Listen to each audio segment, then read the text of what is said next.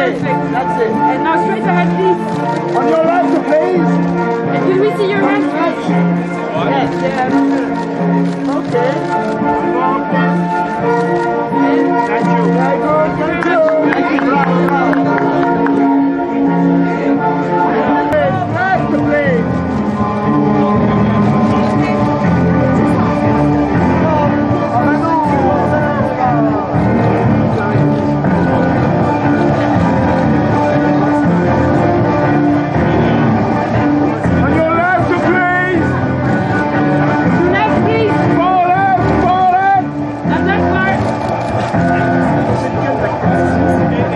Left, far.